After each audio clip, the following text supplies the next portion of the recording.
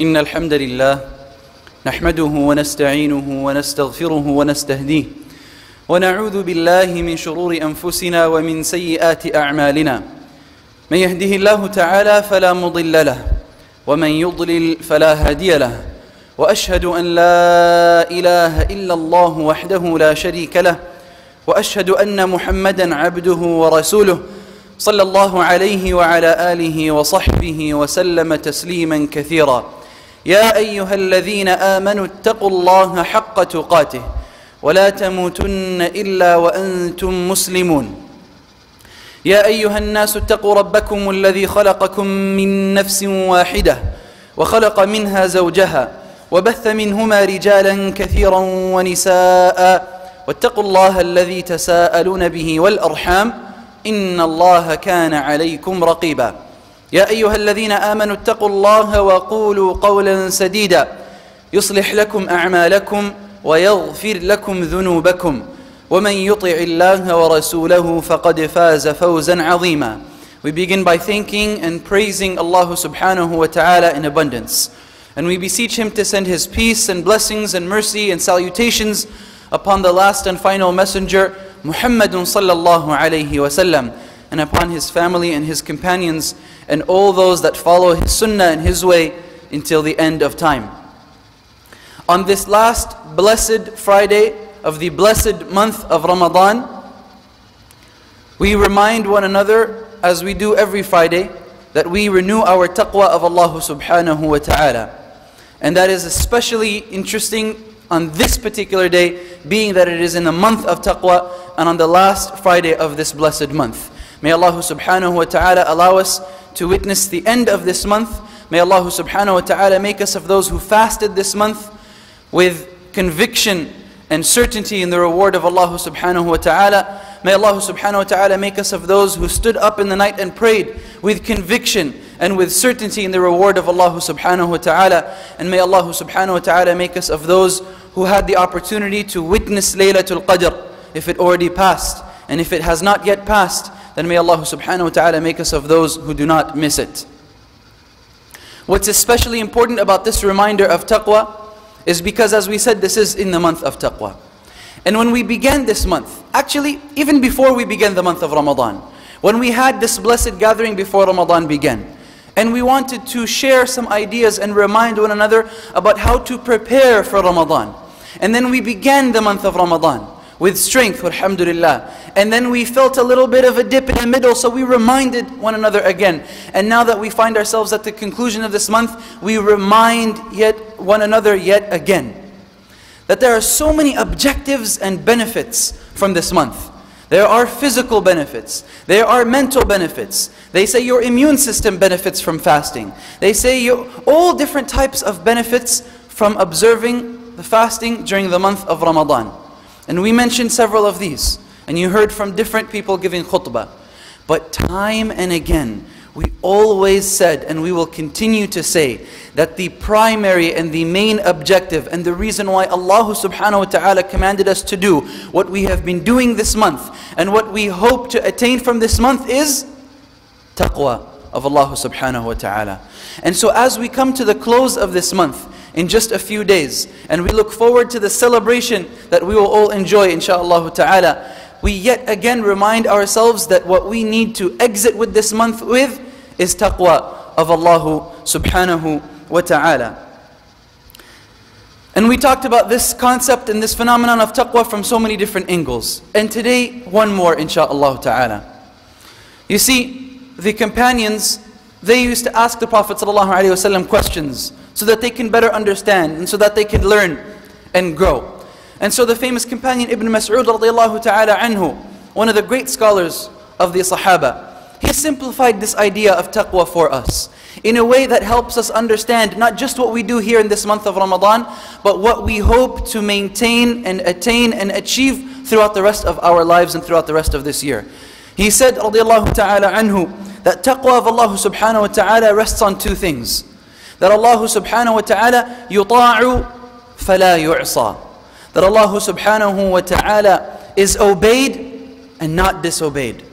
Simple yet profound. And the other pillar that he mentions radiallahu ta'ala anhu is that Allah subhanahu wa ta'ala yudhkar fala yunsa. That Allah subhanahu wa ta'ala is remembered and that He is not forgotten. And we do not forget where we came from, who created us, and what our purpose of existence is to begin with.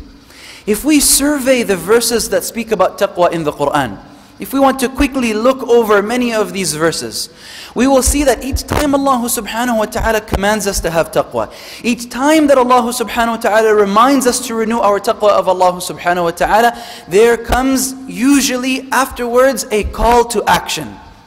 A call to action, whether it has to do with obedience, yuta'u, to obey Allah subhanahu wa ta'ala in a particular commandment. Like for example, this verse that we've been hearing so many times about fasting.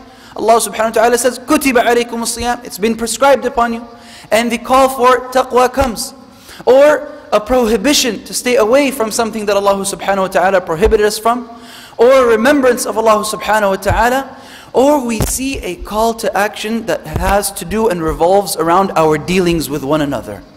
Survey the verses of taqwa, you will find this common denominator throughout the Quran. How we deal with one another. Like for example, the verse that we begin most Jum'ah khutbahs with, amanu taqullaha wa qulu qawlan sadida. Say what is good. Say a proper and good word. Our dealings and our relationships with people. When we have taqwa, it directly impacts those dealings and those relationships. We also begin this blessed gathering with a profound verse where Allah subhanahu wa ta'ala says, Have taqwa of Allah subhanahu wa ta'ala as it is His right.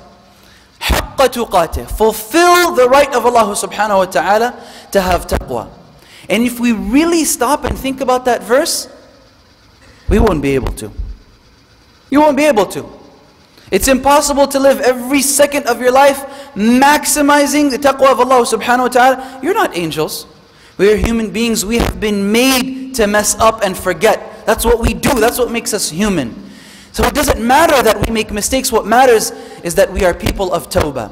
We are people that remember Allah subhanahu wa ta'ala and then we quickly turn back to Him subhanahu wa ta'ala. There's a lot of space over here if we can fill it up before it gets too late. Please come forward as much as you can. This is the last Friday and many people don't want to miss this. So let us make space for our brothers and sisters.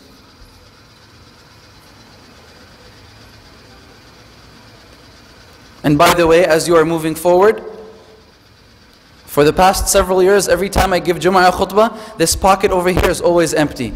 So next time you come to the masjid, just come directly to the side and fill it up. Then we won't have to make these announcements. And another announcement also is when you enter and the adhan is being made, that you pray your two rak'ahs if you want to pray your two rak'ahs right away. Because the khutbah is more valuable than the adhan. So when you enter, pray your two rak'ahs and listen to the khutbah. Please come forward as much as you can. There's a lot of space. And if you see space in the MPR, please fill it. اتقوا الله حق تقاته Full, fully fulfilling the right of Allah subhanahu wa ta'ala in taqwa. We're not going to be able to. You might be shocked. Wait a second. You tell us that verse every single Friday. Now you're telling me I can't do that? See, the Prophet ﷺ told us, "Istaqimu walan tuhsu." Be perfectly upright. Remain steadfast. But by the way, you won't always be able to. Because that's the nature of the human being. And part of our relationship with Allah subhanahu wa ta'ala is that process of tawbah. Allah subhanahu wa ta'ala told us by way of His Messenger that if we did not make mistakes and then turn back to Allah subhanahu wa ta'ala, Allah could get rid of us and replace us with another creation that made mistakes and made tawbah to Allah subhanahu wa ta'ala because Allah loves those who repent. And so when we want to understand what it means to fully have taqwa, as it is His right, subhanahu wa ta'ala, we look at other verses of the Quran. See, the Quran is beautiful. When we want to understand it, we have to look at it as a holistic text. Not just pick and choose verses and understand them exclusively, but we want to understand them in light of one another. If we go to another part of the Quran, Allah subhanahu wa ta'ala says, اتقوا الله ما استطعتم have taqwa of Allah subhanahu wa ta'ala as much as you can. Here's something very interesting about the usage of this verse. Many people who know this verse, many of us who have heard this verse before, we use this verse as an excuse. We use this verse to minimize the wrong that we are doing. Well, I'm only doing this, not that. It could be that bad, but I'm not that bad. I'm uh, just a little bit bad. you know. Just as much as I can. This is as much as I can. That's it. I've hit my ceiling or done. That's as much taqwa as I have in me. Game over. But that's exactly the opposite of what Allah subhanahu wa ta'ala meant by this verse. That's exactly the opposite of what Rasulullah sallallahu alayhi wasallam taught. And that's exactly opposite of how the companions acted. Let us look at this verse in context. In context. And when we look at it in context, we see that Allah subhanahu wa ta'ala, in this collection of verses, in that part of the Quran, Allah subhanahu wa ta'ala tells us about the fitna of wealth and of children, of family. نما أموالكم فتنة.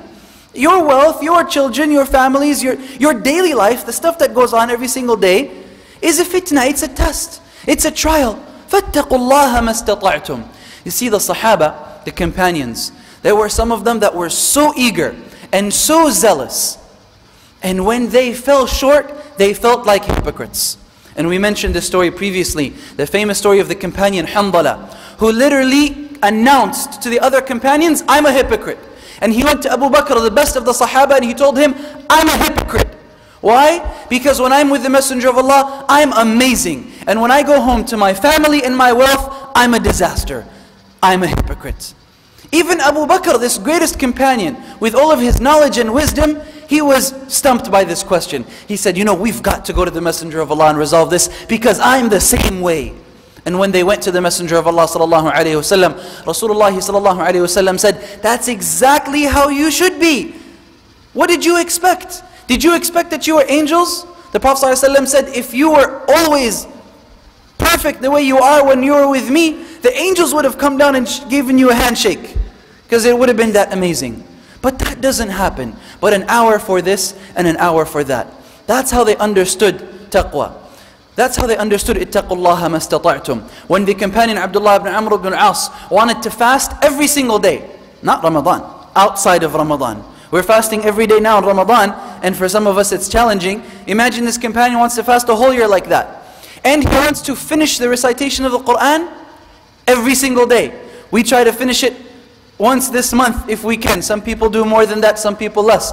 He wants to finish the recitation of the Quran every day. And the Prophet ﷺ is telling him, calm down. He wants to pray Qiyamul Layl every night.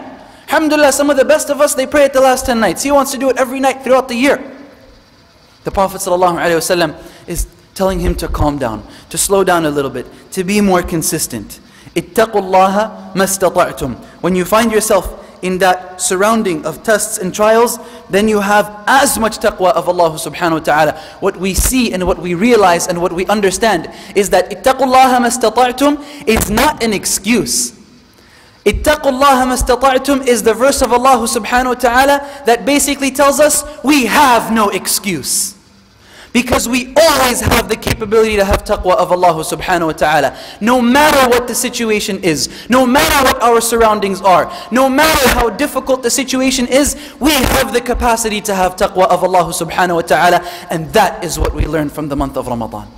That we have that capacity and we have that ability. And that's what we take away and that's what we exit with from this blessed month of Ramadan. How do we exit this month of Ramadan? In order to maintain those pillars of taqwa that we mentioned, Ibn Mas'ud taught us that Allah subhanahu wa ta'ala should be obeyed and not disobeyed. That Allah subhanahu wa ta'ala should be remembered and not forgotten. There's got to be some changes. And they don't have to be big changes, but there have to be changes, there has to be a commitment to change. And so right now, when we sit down between these two khutbahs and we take a short break, we're going to say astaghfirullah, astaghfirullah we are going to repent to Allah subhanahu wa ta'ala. And this is a blessed moment. But right now, when we take that pause, every single one of us needs to think I have something in my life that is not supposed to be there. It's not pleasing to Allah subhanahu wa ta'ala. It might be a relationship that's not pleasing to Allah. It might be riba, it might be interest that is not pleasing to Allah. It might be a habit, it might be an addiction, it might be something that I always say that always comes out of my tongue.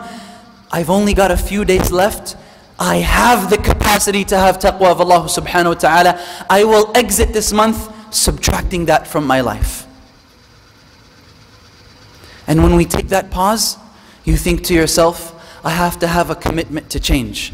I've got to do something so that I can have taqwa of Allah subhanahu wa ta'ala as much as I can. Because you know what? I can't come to the masjid five times a day. I can't do that. But I can come to the masjid for Fajr. I can't come to the masjid for Fajr. I start work at 5 a.m. I can come to the masjid for Isha. I can't come to the masjid for Isha. I have work at that time. I can come to the masjid for Salatul Maghrib. I can be a part of this masjid. When we hear about supporting the masjid, our minds automatically go towards donating and money and checks. And that's wonderful. We should really do that, by the way. This is a very important time for that. But you know how you really support the masjid? By what you're doing right now. You that are here, everyone that is here, we are all special. You are here for Salatul Jum'ah, you are here to fulfill an obligation. You are the minority. If you look at the population of Muslims, it's huge. But if you compare that, you juxtapose that with how many masajid we have, there's a discrepancy there. Because the majority of people are not doing what you're doing right now. But you are here every single Friday, fulfilling this obligation, hearing the words of Allah subhanahu wa ta'ala, being reminded and renewing your taqwa of Allah subhanahu wa ta'ala. And so we exit this month of Ramadan with a commitment to change. Not because ittaqullaha mastata'tum is an excuse, but because ittaqullaha mastata'tum have taqwa as much as I can is the declaration that I'm going to exit this month telling myself, I have no more excuses.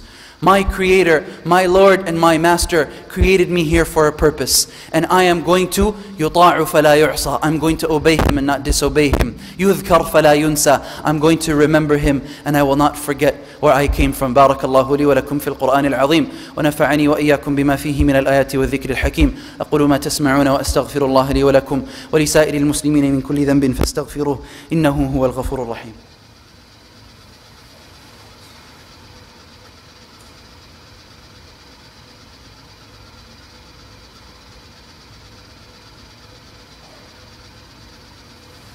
الحمد لله وحده والصلاة والسلام على من لا نبي بعده اللهم صل على سيدنا محمد عبدك ورسولك النبي الأمي وعلى آله وصحبه وسلم تسليما كثيرا One more call and reminder to please move forward as much as you can بسم الله وإذا قيل لكم تفسحوا في المجالس فافسحوا When you are called to spread out and fill all the spaces in the gatherings then do so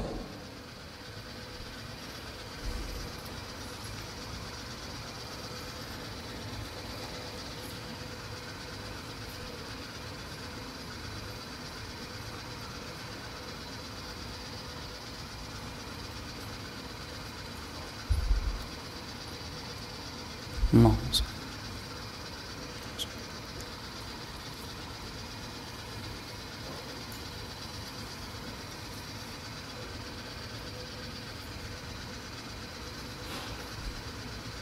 Jazakumullahu khairah. May Allah reward you for your patience and for your consideration of all your brothers and sisters that are coming after you.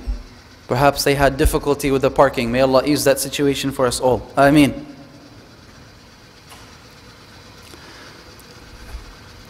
There are still a few very blessed days of the month of Ramadan. Today is the 26th day of Ramadan, and tonight is the eve of the 27th. It's an odd night, and it's a night that many of the companions were very hopeful that it could be Laylatul Qadr. And there is still the 29th night of Ramadan. There is still the 28th night of Ramadan. These are all blessed nights that Rasulullah ﷺ would bring to life with salah, would bring to life with the recitation of the Quran. Perhaps Perhaps there might be a few people here today that came and Allah subhanahu wa ta'ala brought them here for a reason to hear a simple reminder and now they are going to maximize these next few days. Perhaps their forgiveness from Allah subhanahu wa ta'ala is in just these next few nights. And after these few nights pass, then we will have a celebration. We will have Eid al-Fitr. And we all love celebrations. And everyone loves celebrations. That's why Eid is the biggest congregation and gathering we have. Everybody loves celebrations. Because by nature, a celebration is easy. It's fun, it's joyous, it's enjoyable.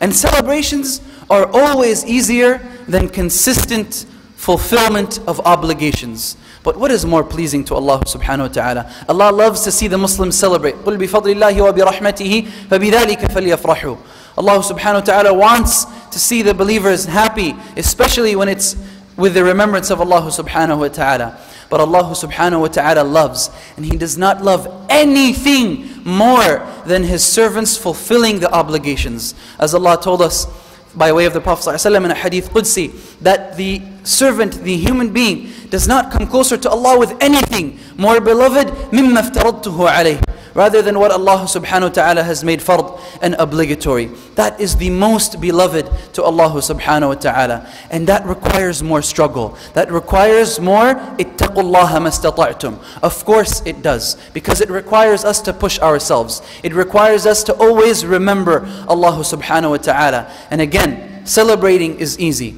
But being consistent, there is some challenge. But the sweetness of it is unparalleled. It's more sweet than any celebration that you can imagine because it's halawatul iman. It's the sweetness of iman that Allah subhanahu wa ta'ala has put in all of our hearts. As we are about to exit this month of Ramadan, the final advice that we have for one another is that we continue to learn and we continue to remind one another. We need to be in a state of one of two things. Either we are learning something new about Allah, or we are being reminded about our Creator subhanahu wa ta'ala. And this gathering was dedicated by Allah subhanahu wa ta'ala to be a remembrance, to be a dhikr, and to be a reminder for one another. So let us always find ourselves either in the state of growth and learning or in the state of rejuvenation and reminding. Expose yourself to the mention of Allah subhanahu wa ta'ala. None of us is going to receive wahi. We have to put ourselves and our families and our children and expose ourselves to the remembrance of Allah subhanahu wa ta'ala to continue the process of purification. The pious predecessors and the scholars, they said that what rectified the situation of the ummah in the very beginning is the same thing that will rectify the situation of the ummah in the end. And that is the word of Allah subhanahu wa ta'ala, the book of Allah subhanahu wa ta'ala. The famous companion Uthman ibn Affan radiallahu anhu said, لو طهرت قلوبكم ما شبعت من كلام ربكم, ربكم. If your hearts were pure, it would never be satiated and satisfied and say, this is enough that I've heard from the book of Allah subhanahu wa ta'ala. And how do we purify our heart? The same thing that we are trying to achieve is exactly the same tool by which we achieve it. We want to have a connection with the Quran, we've got to expose ourselves to the Quran more. Whether that's by reading, or recitation, or translation, or listening, or attending certain programs like the summer intensive program that we will be having as soon as Ramadan ends to understand what exactly it is that Allah subhanahu wa ta'ala is telling us. May Allah subhanahu wa ta'ala bless us all to be people of the Quran, the special allies of Allah subhanahu wa ta'ala. Before we conclude, please, please pay attention to these few important announcements.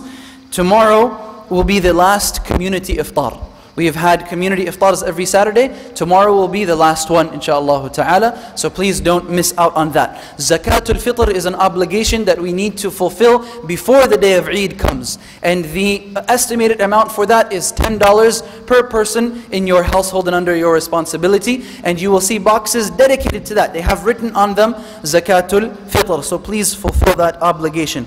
Tonight, because it's the 27th Eve of Ramadan and also because it's weekend and many people want to maximize the benefit of this night, we are going to have an all-night program inshallah ta'ala. We will rest for a short amount of time after Taraweeh and we will resume prayers at 11.45. We will have some short inspirational talks by some of our local esteemed scholars and speakers and we will also have suhoor together inshallah ta'ala. And on Sunday, the 29th night of Ramadan, in Taraweeh, Insha'Allah ta'ala, we will make khatam of the Quran. We will complete the recitation of the Quran that we have been reciting in the night prayer, in the Taraweeh and Tahajjud prayers.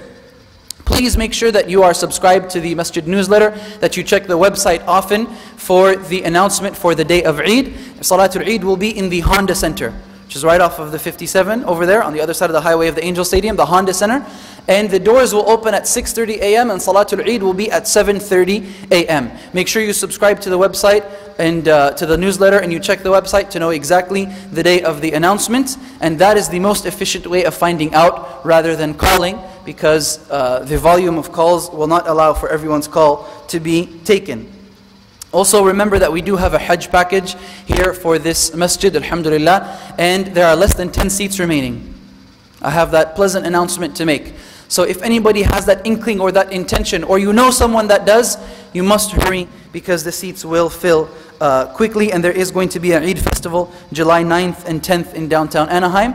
And as you heard the announcement about the IOC extension property, you will see flyers for tours being offered for that and also a call for your support. Please support the masjid and the activities of the masjid with your presence and with your financial contributions. May Allah subhanahu wa ta'ala make us all people that support His houses. May Allah subhanahu wa ta'ala make us of those who exit the month of Ramadan people of taqwa. May Allah subhanahu wa ta'ala increase within us the strength and the muscle of taqwa. May Allah subhanahu wa ta'ala bless us to be people who obey Him and do not disobey Him. May Allah subhanahu wa ta'ala make us those who remember Allah subhanahu wa ta'ala and do not forgive Him, forget Him. عباد الله إن الله يأمر بالعدل والإحسان وإيتاء ذي القربى وينهى عن الفحشاء والمنكر والبغي يعظكم لعلكم تذكرون. اذكروا الله العظيم الجليل يذكركم واشكروه على نعمه وآلائه يزدكم ولذكر الله أكبر والله يعلم ما تصنعون وأقم الصلاة.